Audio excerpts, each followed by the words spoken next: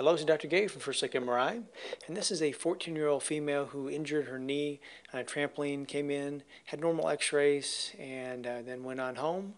And a few months later, about three months later, she continued to hurt. The pain increased in severity, and so they did another x-ray and saw that she had developed this expansile cystic bone lesion in the interval.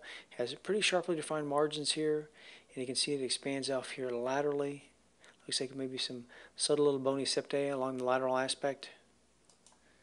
On MRI here, we see the margins are sharply defined. There's this pretty significant component that goes off laterally and also posteriorly. It looks like it's contained within the cortex, but it does extend through the cortex, but there's a little thin rim of cortex around the periphery. And also there's these little areas of hyperintense T1 signal scattered throughout.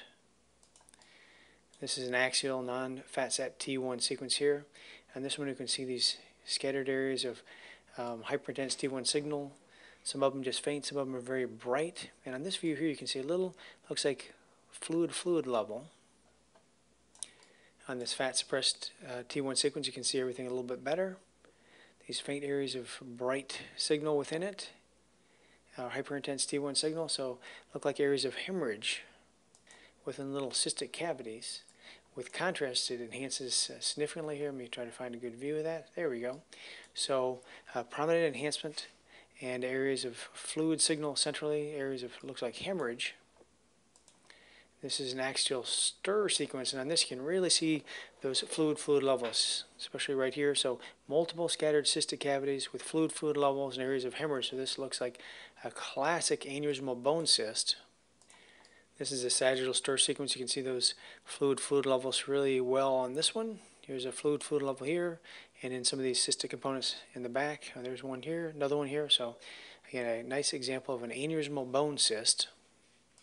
Now these are usually in the pediatric, pediatric population. People are uh, typically under 20 years old. This patient was 14, so right in the uh, appropriate age group. Sometimes they complain of prior trauma. They think maybe they can have a, a fracture, a stress fracture, or microfracture. They can uh, incite this. Sometimes we see them in people who don't have any history of prior trauma. They're usually within this location, usually in the metaphysis of a long bone in more than half of the uh, patients.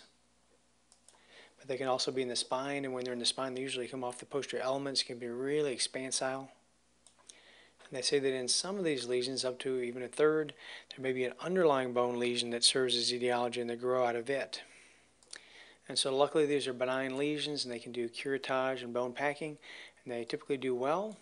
And just to remember if you see a bone lesion that you know, looks kind of scary at first on x-ray, to look at the MRI and if you see these fluid fluid levels and also areas of hemorrhage within, this is really um, classic.